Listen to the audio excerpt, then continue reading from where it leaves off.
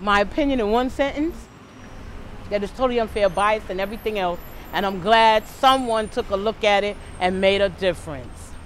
Stop and frisk has caused frustration on the streets of Brownsville, Brooklyn, where Monday's court ruling was well received.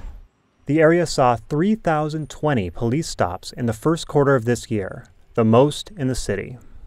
A federal judge in Manhattan found that the tactic violated the constitutional rights of minorities. She declared that the police department had adopted a policy of indirect racial profiling.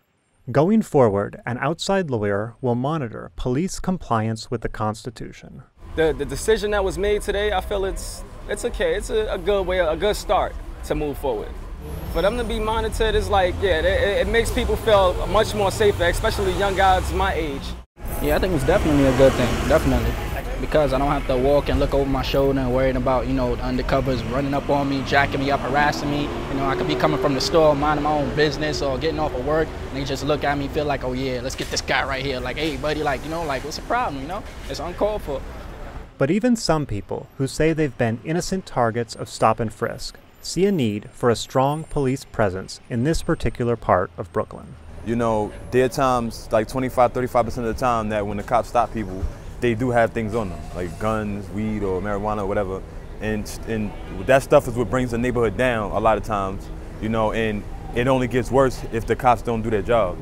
If you stop me and frisk me, please explain to me why.